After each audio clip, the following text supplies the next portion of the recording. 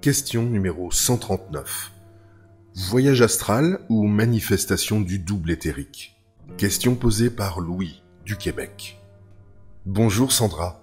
Tu as créé ton double éthérique et tu en as la pleine conscience? Si oui, est-ce que tu peux l'utiliser de façon pratique? Exemple, tu dois te rendre en Afrique du Sud, à un endroit précis, mais tu aimerais en savoir plus sur le lieu.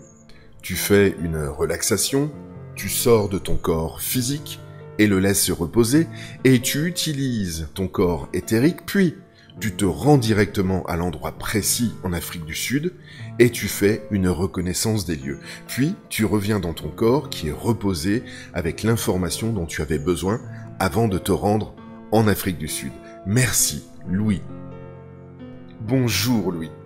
Ce que tu exprimes, c'est surtout le corps astral qui travaille de cette façon. Le corps physique se repose et le corps astral peut, alors, s'éloigner et changer de lieu pour y extraire de l'information. Certains le font de manière très lucide. Du côté du double éthérique, le corps physique de l'ego n'a pas besoin d'être au repos pour que son double éthérique se déplace. Autre distinction importante, le double éthérique permet à l'ego d'aller soutirer le réel d'une vibration de l'esprit et d'y extraire le réel à l'intérieur des circuits universels en fonction de sa capacité à s'y déplacer. On voit que c'est bien différent.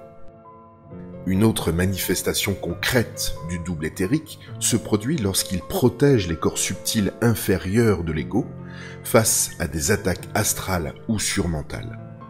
Pour ce faire, il emboîte les corps inférieurs, comme le principe des poupées russes, l'ego ressent alors tous ces corps vibrer avec une énergie qu'il ressent comme étant de la colère. Ça peut être très puissant en termes de vibration lorsque c'est vécu. C'est une sorte de pénétration de la lumière de l'esprit dans l'ego qui se vit.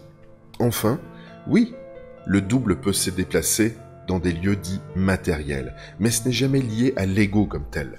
La notion de multidimensionnalité de la conscience prend alors tout son sens. C'est donc un mouvement d'esprit qui s'actualise indépendamment de la conscience de l'ego. En conclusion, le double éthérique permet à l'ego d'aller soutirer le réel d'une vibration de l'esprit et d'y extraire le réel à l'intérieur des circuits universels en fonction de sa capacité à s'y déplacer. Au plaisir, Sandra Vimon.